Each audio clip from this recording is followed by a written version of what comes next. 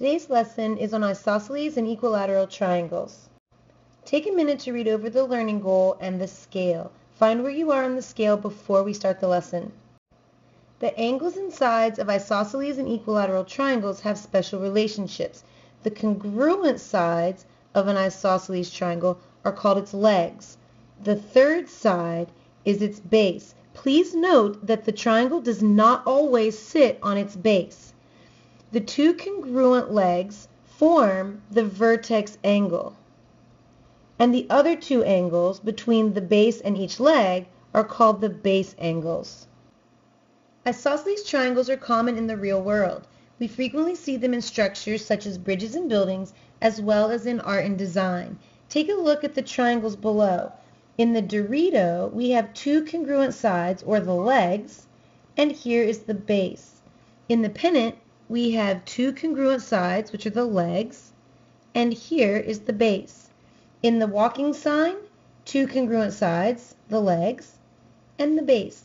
And in the coat hanger, here are two congruent sides, the legs, and here is the base. The isosceles triangle theorem states that if two sides of a triangle are congruent, such as side AC and side BC, then the angles opposite those sides are also congruent. So here, angle A is opposite side BC, so it is congruent to angle B, which is opposite side AC. When we prove the isosceles triangle theorem, we will need to use an auxiliary line. Let's start with isosceles triangle XYZ. We are then going to draw the auxiliary line XB. This will be the bisector of the vertex angle YXZ. Let's first begin with the given stating that side xy is congruent to side x, er, xz. Next, we'll use the given fact that segment xb is the bisector of angle yxz. By the definition of angle bisector, we know that angle 1 is congruent to angle 2. By the reflexive property of congruence, Side XB is congruent to side XB. We now have three congruent corresponding parts of triangle YXB congruent to three corresponding parts of triangle ZXB. So by side angle side, side angle side, triangle XYB is congruent to triangle XZB. Finally, we can prove the isosceles triangle theorem stating that because we have two congruent legs, the angles opposite those sides, angle Y and angle Z, are congruent by CPCTC. Corresponding parts of congruent triangles are congruent. The converse of the isosceles triangle theorem states that if two angles of a triangle are congruent, then the sides opposite those angles are also congruent. So since angle A is congruent to angle B, the side opposite angle A, side BC, is congruent to the side opposite angle B, side AC. The proof of the converse of the isosceles triangle theorem also involves the use of an auxiliary line. We're going to start with triangle PRQ with angle P being congruent to angle Q. We then want to draw segment RS, which is the bisector of angle PRQ. Since the converse of the isosceles triangle theorem states if two angles of a triangle are congruent, then the sides opposite those angles are also congruent, we are trying to prove side PR congruent to side QR. So let's start with the given that angle P is congruent to angle Q and that segment RS bisects angle PRQ. By the definition of angle bisector, angle PRS is congruent to angle QRS. Now that we have two pairs of congruent corresponding angles, we need a congruent corresponding side. So by the reflexive property of congruence, let's say that side RS is congruent to side RS. We can now say that triangle PRS is congruent to triangle QRS by the angle, angle, side theorem, angle, angle, side. Since all corresponding parts of congruent triangles are congruent, we know that side PR is congruent to side QR by CPCTC. Corresponding parts of congruent triangles are congruent. Example 1 uses the isosceles triangle theorems. Let's look at part A. Is segment AB congruent to segment CB? Explain. Since angle A of triangle ABC is congruent to angle C, we know the sides opposite those angles are also congruent. Since side BC is opposite angle A and side BA is opposite angle C, yes, side AB is congruent to side CB. Part B wants to know if angle A is congruent to angle DEA.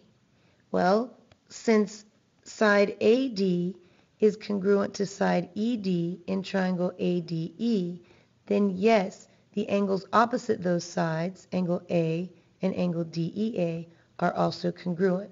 This is the isosceles triangle theorem. Pause the video and do U-try number one. Part A. Is angle WVS congruent to angle S? Is side TR congruent to side TS? Okay, let's start with the first question. Since in triangle WVS, side WV is congruent to side WS, we know the angles opposite those sides will also be congruent. So yes, angle WVS is congruent to angle S by the isosceles triangle theorem. Since angle S is congruent to angle R, we know that the sides opposite those angles in triangle TRS are also congruent. So side TS will be congruent to side TR by the converse of the isosceles triangle theorem. Part B wants to know if we can conclude that triangle RUV is, an, is isosceles. Since we do not know if angle R is congruent to angle UVR, and we do not know if side RU is congruent to side VU, we do not have enough information to say whether or not triangle RUV is isosceles. Theorem 4-5 states that if a line bisects the vertex angle of an isosceles triangle, then the line is also the perpendicular bisector of the base. Let's prove that theorem. Let's start with the given information that side AC is congruent to side BC and angle ACD is congruent to angle BCD.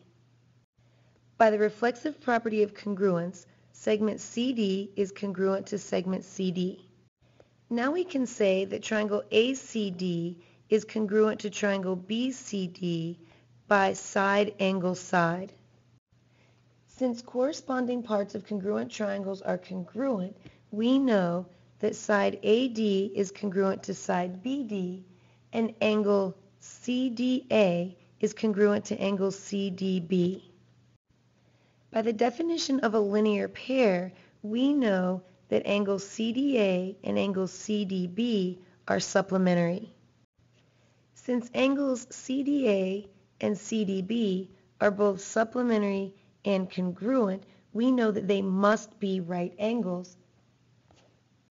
And finally, since segment CD and segment AB form two right angles by the definition of perpendicular, segment CD is perpendicular to segment AB. In example 2, we will use algebra along with the isosceles triangle theorems to find the value of x. There are two ways to solve this problem. I'll show you one way now and the other way in the U-try.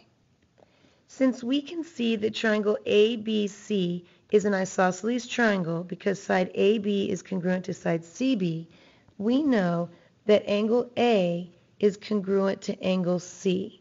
Therefore, angle C is 54 degrees.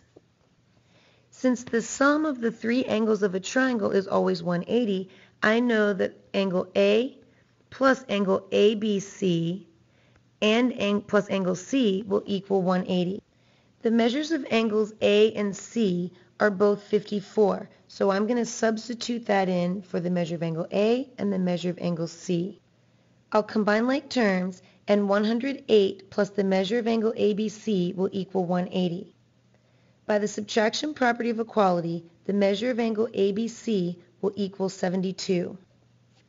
Since the measure of angle ABC can be divided into two congruent angles, both with a value of x, I know that x is going to be half of 72 degrees.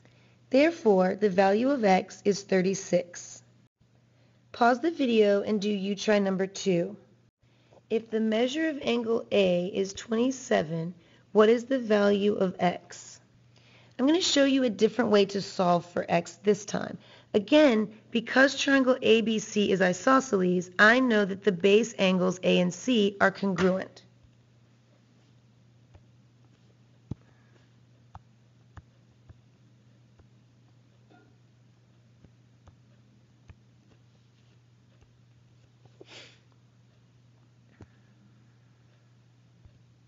I also know that since segment DB bisects angle ABC, that this is the perpendicular bisector of the base. So angle ADB and angle CDB are both right angles. Since the sum of the three angles of a triangle is 180, I know that 27 plus 90 plus x will equal 180. I'll combine like terms and 117 plus x will equal 180. By the subtraction property of equality, x will equal 63. A corollary is a theorem that can be proved easily by using another theorem. Since a corollary is a theorem, we can use it as a reason in a proof. Look at corollary to theorem 4-3. If a triangle is equilateral, then the triangle is equiangular. That means if three sides of a triangle are congruent, their three angles are also congruent. Corollary to theorem 4-4 states that if a triangle is equiangular, then it is also equilateral, meaning if three angles of a triangle are congruent, then the three sides of that triangle are also congruent. In example 3, we will find angle measures. What are the measures of angle A, B, and angle ADC in the photo at the right? Since these three triangles, triangle ADE, triangle BCE, and triangle DCE are all equilateral, I know that they are also equiangular. All three of them have a sum of 180, and they are also congruent. So the measure of each angle is 60. Since angle ADC consists of two 60 degree angles, its measure will be 120. Pause the video and do U-try number 3. Let's suppose these three triangles are isosceles triangles where angle ADE, angle DEC, and angle ECB are all vertex angles. If each of the vertex angles have a measure of 58, what are the measures of angle A and angle BCD? In an isosceles triangle, we know that the base angles are congruent. Since all three vertex angles are congruent, each base angle of these three triangles will also be congruent. So let's start with the equation that this angle plus this angle plus this one have a sum of 180. We know that this angle has a measure of 58 and these two are congruent. I'm going to let x be the measure of each base angle.